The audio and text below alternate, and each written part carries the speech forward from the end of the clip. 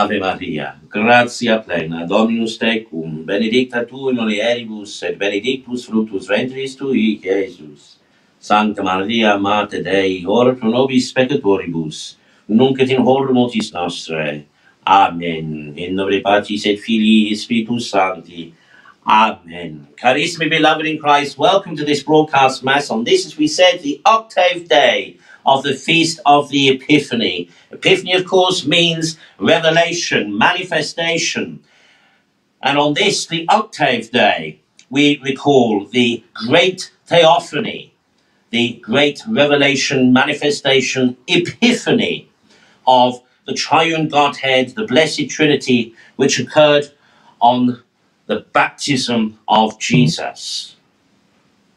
You may recall that during uh, this octave we have reflected various times in our homilies on uh, the various different theophanies, the various different revelations, particularly, of course, of the revelation of the incarnation, of the theophany of God made man, of the Word made flesh in Christ.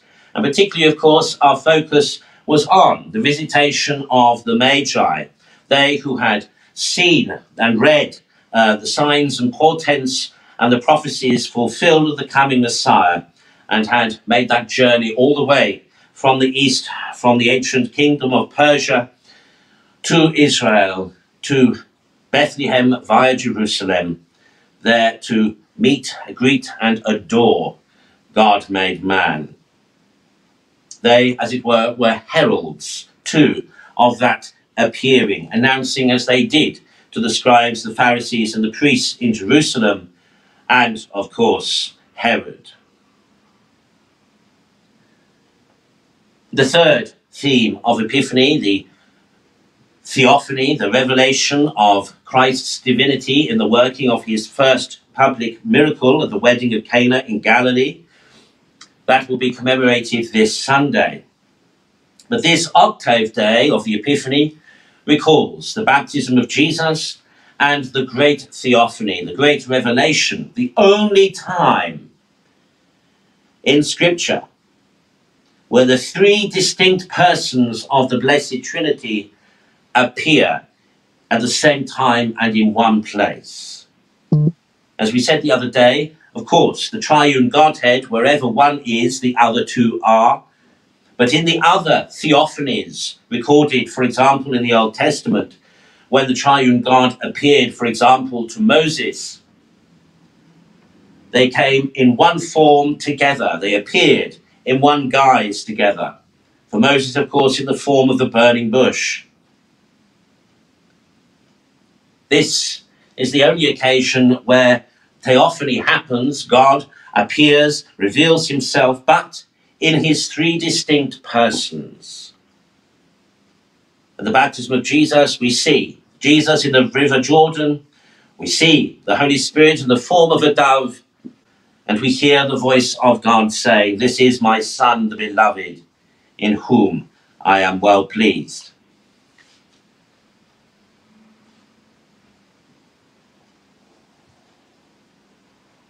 St. John's Gospel, read to us today, is presented to us not because of necessarily its narrative, but of course, always with St. John, it is rich in theology. Just like the prologue to St. John's Gospel, that which we generally read as the last Gospel, all of St. John's Gospel is rather than presenting a historical narrative or chronology, is more of a theological presentation and perspective. Oh, yes, of course, wound up, bound up with the retelling of various significant events. But St. John is keen, as it were, to emphasize the theology, to emphasize the revelation of God that is in Christ, that is in uh, the gospel message. So it is that St. John presents to us, or rather, Holy Church presents to us via St. John, the testimony of the Baptist. And there are a couple of things I hope that might have struck you about the Baptist's testimony. I hope that you recognized the words of invitation that we hear now to Holy Communion, to the theophany, the revelation of God made flesh, body, blood, soul, and divinity in the Holy Eucharist. When we hear at the beginning of this Gospel pericope, Ecce agnus Dei, ecce qui tollit peccatum mundi. Behold the Lamb of God. Behold him who takes away the sins of the world. These words that have been eternalized by the Holy Liturgy are a confession, of course, of who Christ is as the Messiah. And John's exclamation in testimony is given for the benefit of whom? But his disciples. Among them, of course, we know, was Andrew, the brother of Simon, son of Jonah, who would become called Peter.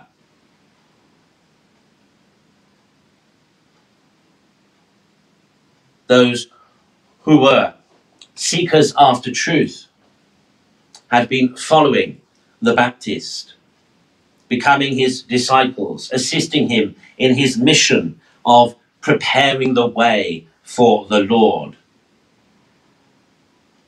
His ministry of baptism and repentance had one objective, one reason, one purpose to prepare people to receive the Messiah, to receive salvation.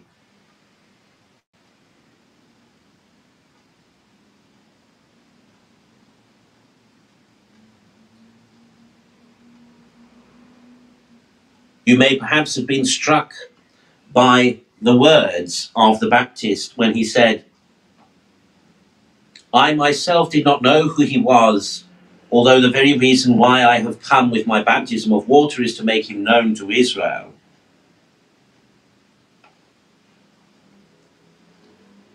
This may strike you as odd because of the close relationship we know between John and Jesus by blood. Their mothers, of course, were cousins. We know that John leapt in his mother Elizabeth's womb when they heard the greeting of Our Lady when she visited Elizabeth after the Annunciation.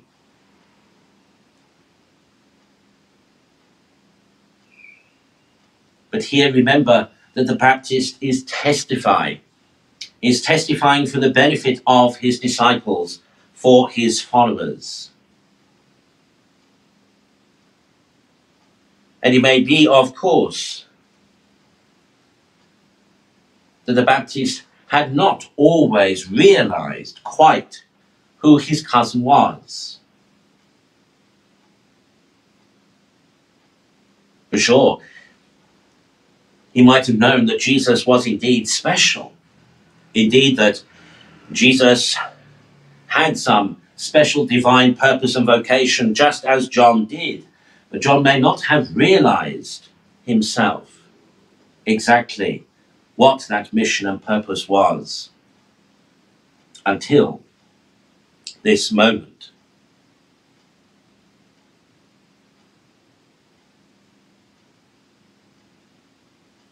Till then, I did not know him. But then I remembered what I had been told by the God who sent me to baptize with water. He told me, The man who will baptize with the Holy Spirit is the man on whom thou wilt see the Spirit come down and rest.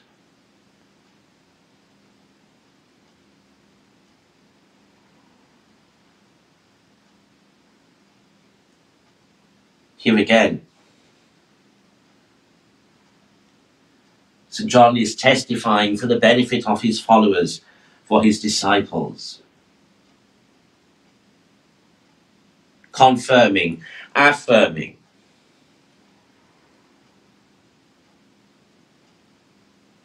That he witnessed and saw the Holy Spirit at Christ's baptism.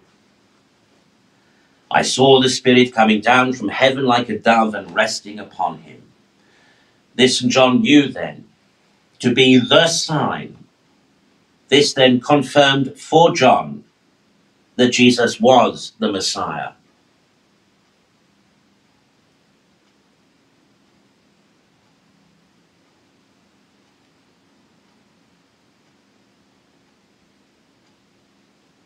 This then suggests to us the prudence of the Baptist.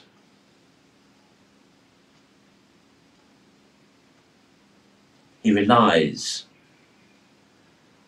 upon the prophecy, he relies upon revelation. He relies upon what God has revealed and what God has made known.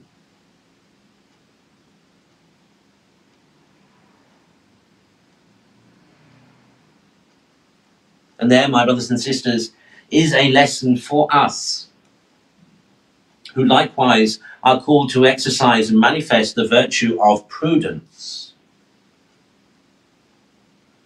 Who are extolled by the apostle to discern the spirits. Not every one and everything that says it's of itself that it is of God is necessarily so.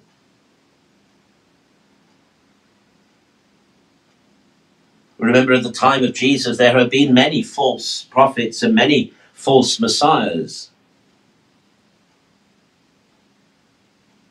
And the apostle elsewhere warns us, admonishes us to hold fast to what we know to be true, even and despite the apparition of an heavenly being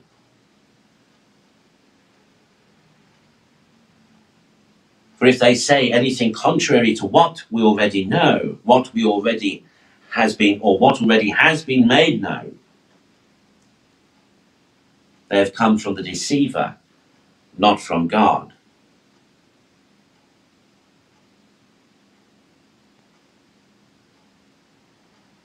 And this is why, for us as Orthodox Catholics,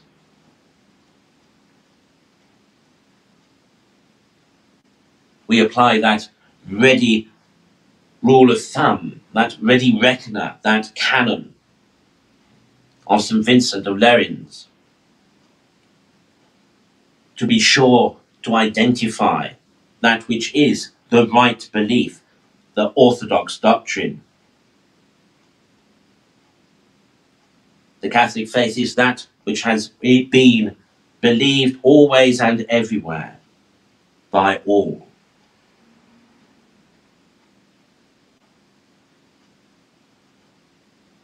In the craziness and topsy turviness that is today's world. This, my brothers and sisters, is an important lesson, an important reminder to us to be prudent and to exercise prudence. For as Jesus forewarned, there will be many, and there are, running around now, preaching doom and gloom, prophesying the end of the world. False Christs are beginning to appear. People claiming to have divine knowledge, but which is contrary to divine revelation. Remember, Christ himself told us, don't pay attention to such. Don't get carried away with such. There will be those who say, The Christ is returned here, and no, he is returned there. Jesus says, You know, you will know when the Son of Man returns, when the sky is split, riven from east to west, and the Son of God arrives in a great chariot, preceded by a horde of the heavenly host pouring and spreading out over the face of the earth, sorting the goats from the sheep, the chiff from the chaff. Until then, our Lord says, focus on your salvation, focus on loving God and loving neighbor. Pay no heed to the tinfoil hat brigades. Use prudence. Use your ability to rationalize. Don't give in to emotions. Don't get carried away. But keep yourself centered and calm, rooted, steadfast in that which has been divinely revealed.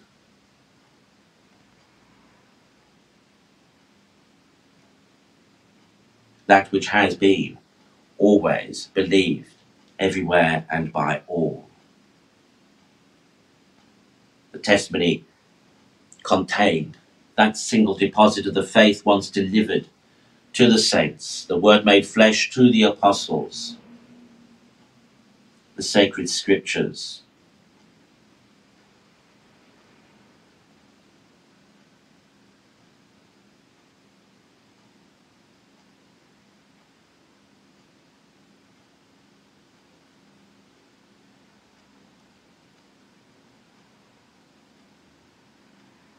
And John, of course, the Baptist, in his testimony, speaks to the Holy Spirit. And here, my brothers and sisters, is where we really should exercise prudence. For how many have told us in recent years that the Holy Spirit has inspired them to this or to that? Even though this or that directly contradicts the divine revelation. How many have claimed the Holy Spirit for this or that change?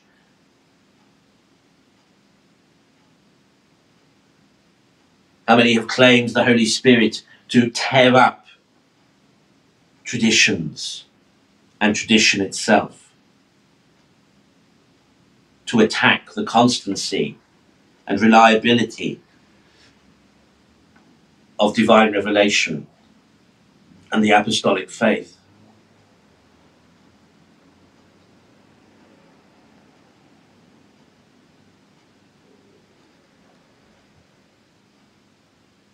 for 500 years. Others have claimed to be the church. And yet, what is missing? That the Baptist himself recognizes is necessary to confirm and affirm that which is truly of God. the presence of the Holy Spirit.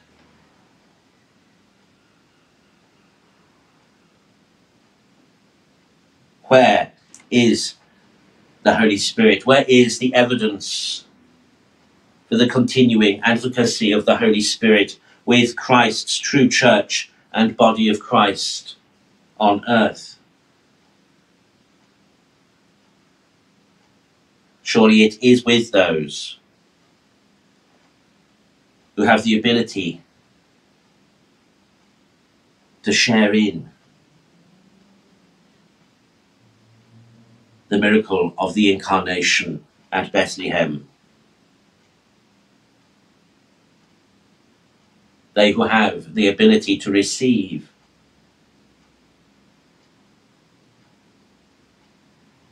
the new bread from heaven that gives eternal life.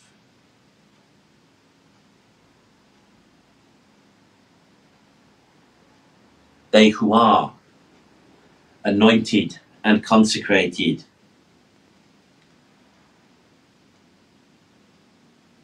Whom the Holy Spirit is promised and confirmed and affirmed by the power of grace and sanctity that is exercised within the body of Christ.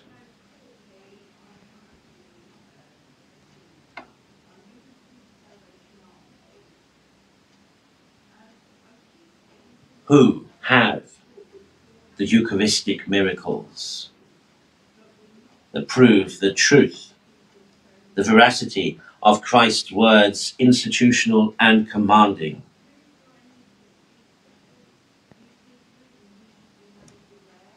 Who receives his body, who receives his blood, who has borne witness and has witnesses too the transformation.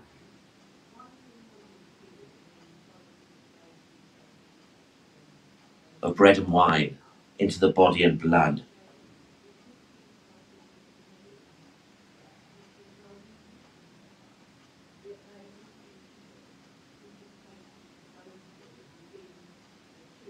Who has grown.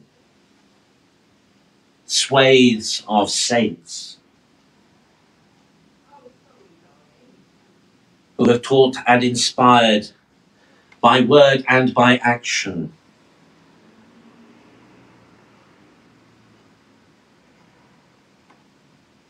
And have proven their salvation by the efficacy of their continued intercession.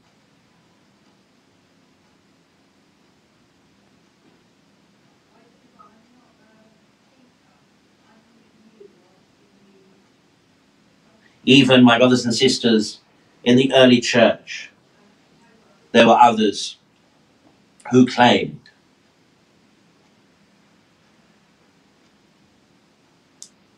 to exercise power,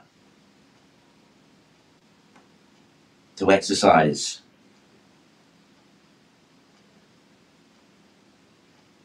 and manifest miracles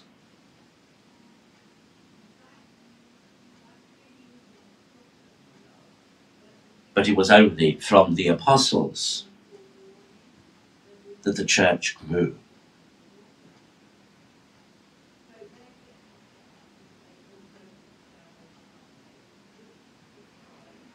Who has the succession of the apostles today?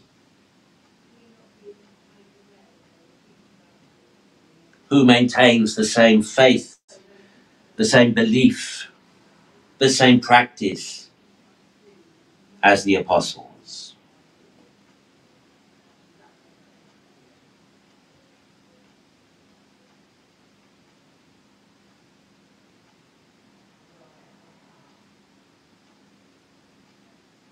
They who still profess and believe that which has always been believed everywhere and by all for 2,000 years.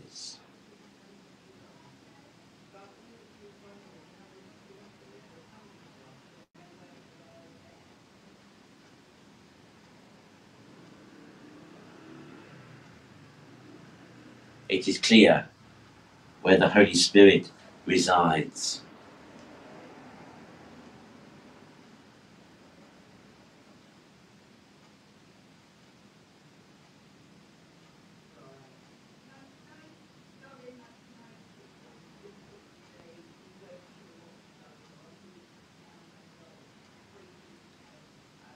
in Christ's baptism is instituted our own baptism. The Baptist's baptism is made whole, completed.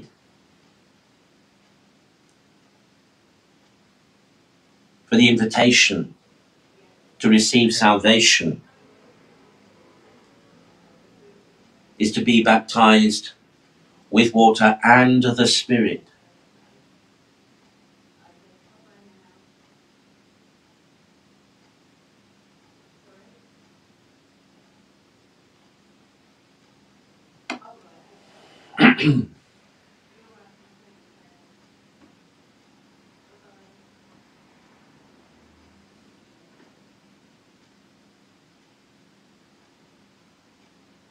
Christ, by his baptism, enables us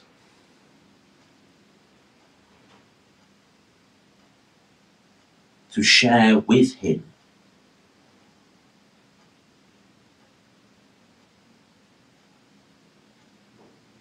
eternal life with God. The baptism that we receive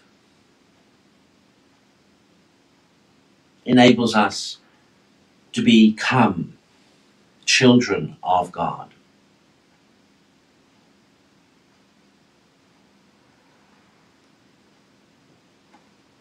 For in Christ's baptism, he sanctifies that element of water which had already been used by God in signs and wonders and portents, prefiguring the salvation that it would afford.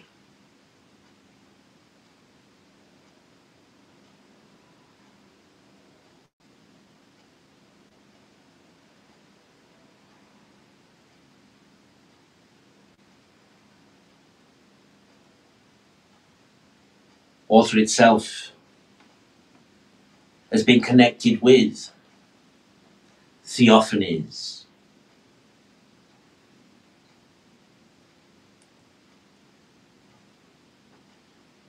Think of creation and the waters of creation and the Spirit of God.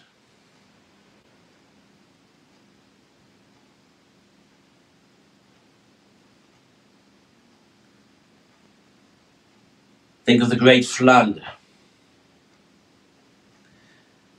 and the purgation, the purifying of the world by water.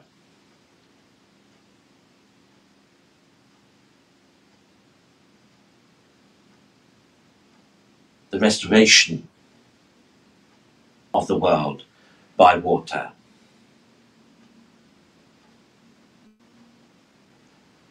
Remember the parting of the Red Sea. Salvation that comes through water.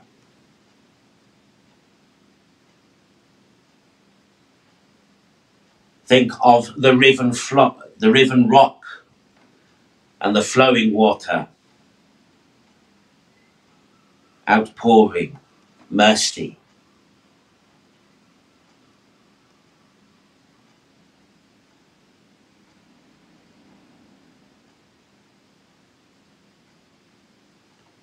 think of the water likewise that poured forth from the side of Jesus on the cross.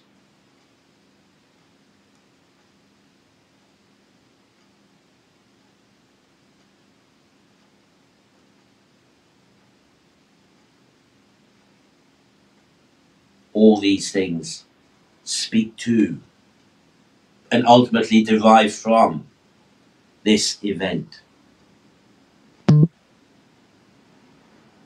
This sanctification by Christ of the world, this restoration of creation.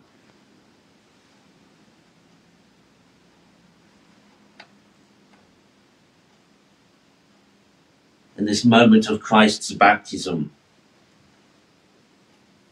All these events are brought together.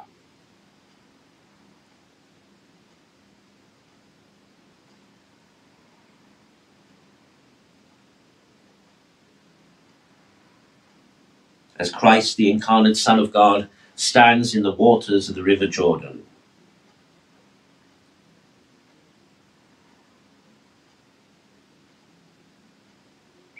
that the restoration of creation begins.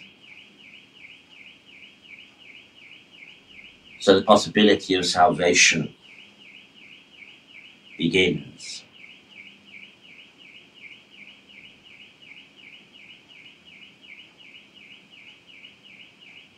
So the realization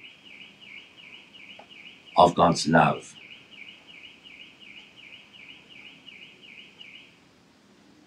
is made manifest.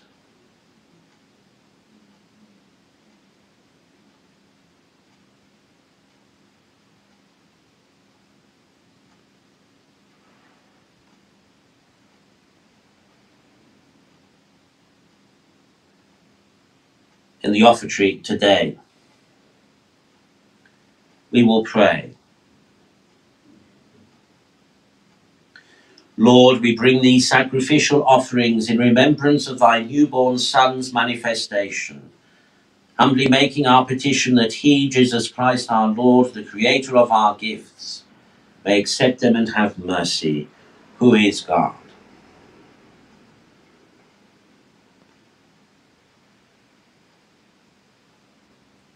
the creator of our gifts, the author of our life,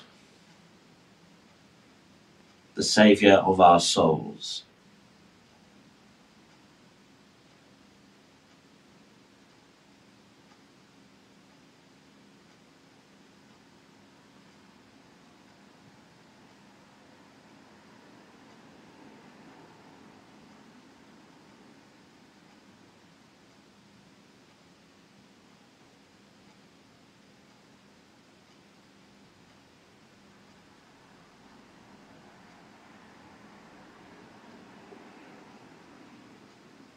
What can we offer him?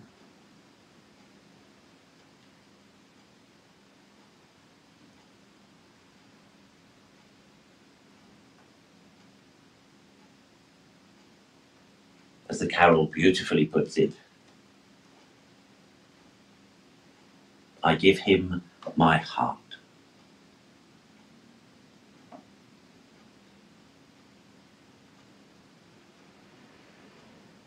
We can only give him.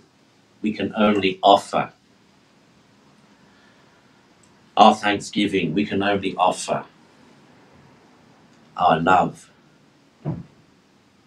That single thing which is and can be and should be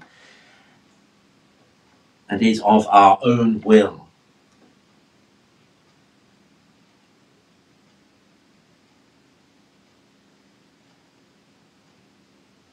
Everything else is of God and from God.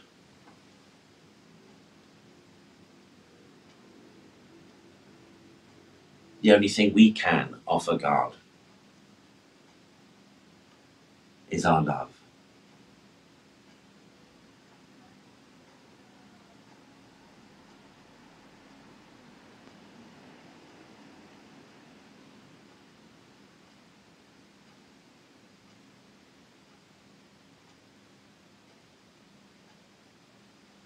And that love, my brothers and sisters, of course, needs itself to be manifested, needs itself to be revealed.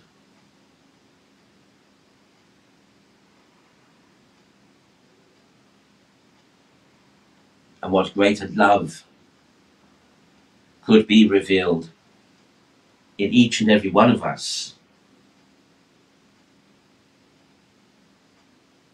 the love of God for others. As we reflected the other day, true love does not love for love's itself sake, but love selflessly.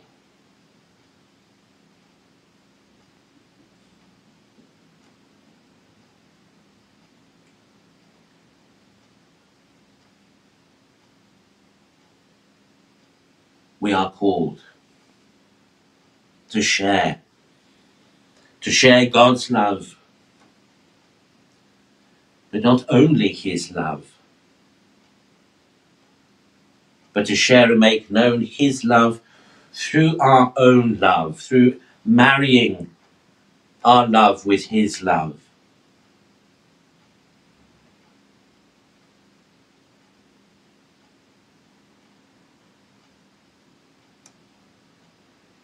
It's not enough for us to simply talk about God's love.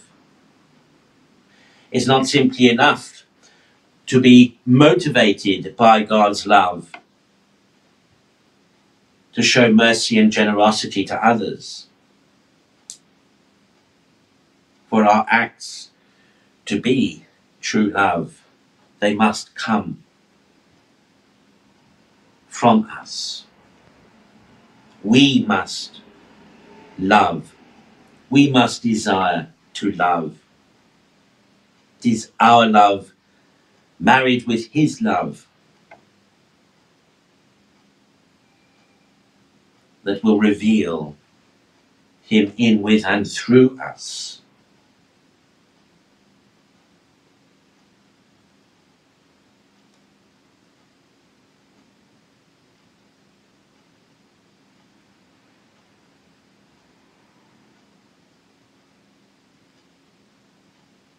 Let us pray, my brothers and sisters, today that we might strive with all our heart, with all our soul, with all our mind, with all our strength, availing ourselves of the guarantee, presence, and promise, confirmation and affirmation of the Holy Spirit in the Church especially availing ourselves of the assured means of grace, of sanctifying grace in the sacraments.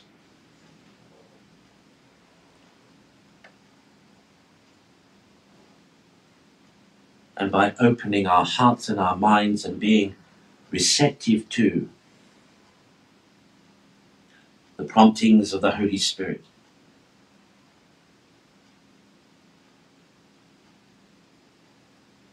But so that we may love as God loves in Jesus.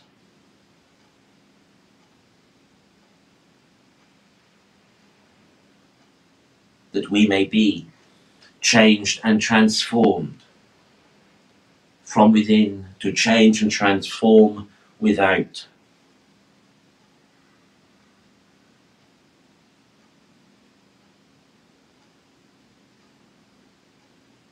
We may become for ourselves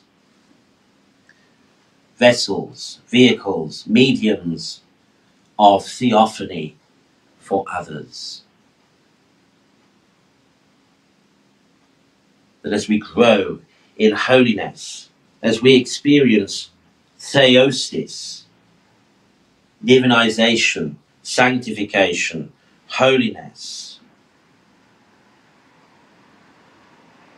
we may become icons of theophany. And be the sparks of epiphany. That others may see Christ in us and be drawn to Him through us and come to know for themselves God's love. And realize their salvation. In him who is God, Father, Son, and Holy Spirit. Amen.